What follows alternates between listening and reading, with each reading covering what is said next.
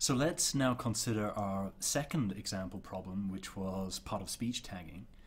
So remember, in this case, each x is a history um, which consists of a sentence. For example, we might have the dog saw the cat. We have some position i, which is the position being tagged. So let's say, for the sake of argument, it's position 4 in this case. So we're trying to estimate a distribution over potential tags for the word there. And then we have a sequence of previous tags, uh, t1 through ti minus 1. So we might, for example, have dnv as the context, the previous tags in the sentence before this fourth position. So each x encapsulates all of this contextual information, the entire sentence, the previous sequence of tags, and just for a little bit of bookkeeping, the position that we're actually tagging. Each label y is a part of speech tag, so it is going to be one of, say, 30 or 40 or 50 tags typically you might see in a given language. And again, we're going to assume that we have m features, fkxy, each of these features is going to take an entire xy pair and return some real value. And again, we'll make heavy use of indicator functions, which return 0 or 1, depending on whether some property of x paired with y is true. Here are some example features, and these are actually taken from a part of speech tagger developed by Adwait Ratnaparkhi in the mid-90s, um, which made direct use of log linear models in um, a very elegant and effective way for tagging problems. Here are some example features. So f1xy is 1 if the current word wi is the word base and the tag we're predicting is vt. So this looks at a word tag pair and for this particular feature we look at the word base in conjunction with the tag vt. In practice, you would again introduce a very large set of features of this form, basically for every possible combination of word and tag, or at the very least, every possible combination of word and tag that you've actually seen in your training data, assuming we have tagged sentences to train the parameters of this model. So this is one clearly very important type of feature the feature that um, basically captures the tendency of a particular word to take a particular tag. You can think of this, if you think back to hidden Markov models, as being ana analogous to uh, E of base given VT, or at least when we see the parameter associated with this feature, that parameter is going to play a similar role to this emission parameter that you saw in hidden Markov models. Here's a more interesting feature though, F2 as I've defined it here, is 1 if the word you're predicting ends in ing and the tag is VBG. This is a Penn treebank tag uh, reserved for verbs um, which are gerunds, so things like liking or talking. All of these uh, verbs in English which typically end in ing, and this feature is going to capture the tendency for words ending in ing to take this particular tag. Again, you might design a very large number of features like this um, for, say, all possible prefixes and suffixes combined with all possible tags, or again, at least those combinations which you've seen in training data.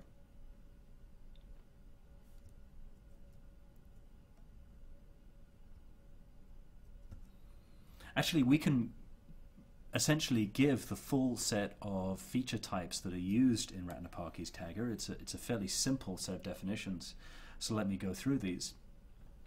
So he used uh, features which looked at the word and tag in exactly the same uh, as I've shown you on the previous slide. He used uh, spelling features which considered all prefixes and suffixes up to length 4 in conjunction with tags. So uh, here are some examples. You know, this feature we just saw, conjoining ing as a uh, suffix together with VBG. Here's another feature, which is one if the current word starts with the, the three-letter prefix PRE and the tag is nn. And you can imagine these are just two features of a very large number, looking at all prefixes and suffixes seen in training data in conjunction with all possible tags.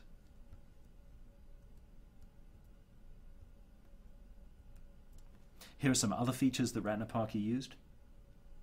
He used contextual features. So these are features which actually are analogous to the trigram tag uh, parameters you saw in HMMs. So remember we had parameters such as this, which is the probability of seeing a transitive verb given the previous two tags, a determiner and adjective. The analogous feature to that is this feature, which is 1 if ti minus 2 and t minus 1 y form this particular trigram. Okay, so again, remember we have some sentence, w1 through wn. For example, the dog saw the cat. We have some position we're tagging, for example, i equals 4. And um, we have previous tags, t1 through t3 for example, equal to d and v. And so I can basically look at these previous two tags in conjunction with the label y being predicted and create a feature like this, tracking a trigram of tags. This is the bigram feature, so it looks at the fact that ti minus 1 is jj and y is equal to vt. And finally a unigram feature which only looks at the label y and basically this will allow us to basically capture um, the relative frequency of different tags. Maybe VT is a frequent tag or a not so, so frequent tag. This is the most naive feature because it conditions on no context, but of course it can be useful because it does provide some evidence that's very robust. We don't need to estimate, um, we don't need too much data to estimate the parameters associated with this feature. Here's some other features that Ratnaparkhi used. Here is a feature which uh, looks at the label y the fact that it's equal to VT, and it looks at the previous word. Again, this is going to be one feature of many which look at the previous word in conjunction with the current tag. This is very different from anything we saw in HMMs. We didn't see hidden Markov models making use of these features, conjoining the previous word with the current tag, and indeed it would be quite, quite difficult to extend hidden Markov models to take into account this information. We have another feature which looks at the identity of the next word and the current tag.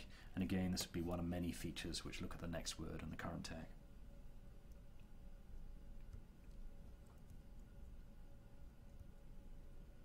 So in summary, the final result of all this is the following. We can come up with practically any questions, what we've called features, which look at history tag pairs.